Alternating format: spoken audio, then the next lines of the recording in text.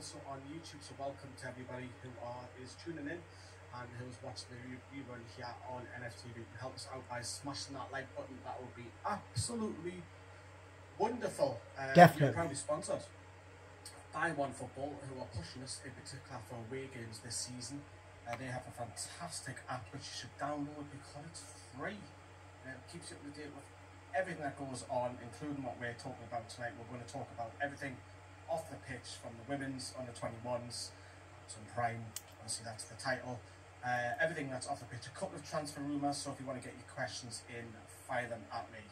Um, but yes, we're also running on ooh, multi-camera, so hello everybody, that's the close-up view which I'll keep changing around.